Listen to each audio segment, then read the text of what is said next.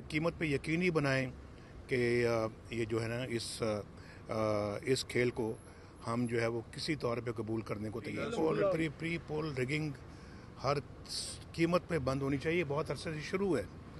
हमारे लोगों को पकड़ा गया।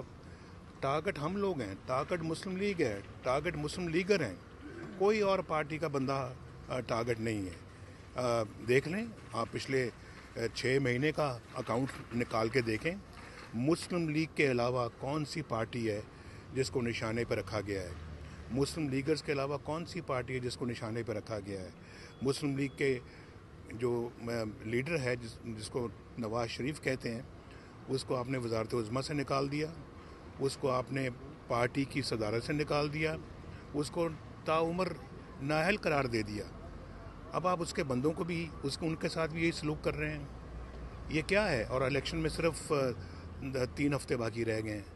ये क्या है? ये क्या हो रहा है? जो आप खड़े हैं ये अस्पताल है। अभी मैं अंदर से बाहर निकला हूँ। मैं आपको ये बताना चाहता हूँ जी कि केसेस एक ही नौीयत के हैं। मेरे बारे में फ़ैसला कुछ आता है। दूसरों के फ़ैसले कुछ और आते हैं। मुझे निकाल दिया जाता है। दूसरों को बहाल किया जाता है या दूसरों के ख़िलाफ़ ये फ़ैसला नहीं आता।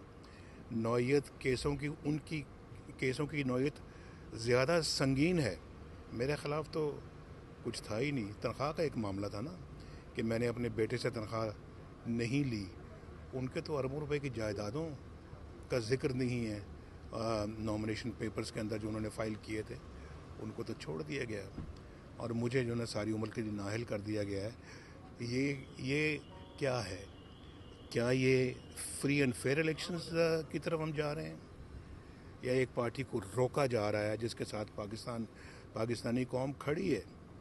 उसको रोका जा रहा है कि वो इलेक्शनों में कामयाबी हासिल ना कर सके। इन हालात में आपको ये आपको पाकिस्तान आपको ये ये ये जब भी जब भी आपने एक पॉपुलर विल के ख़िलाफ़ कभी भी इस तरह की अपने हरकत की है उसके नतज मुल्क और कौम के हक में बड़े घनावने साबित हुए हैं। मेरी दुआ है कि अल्लाह ताला पाकिस्तान को खैर वाफियत से रखे।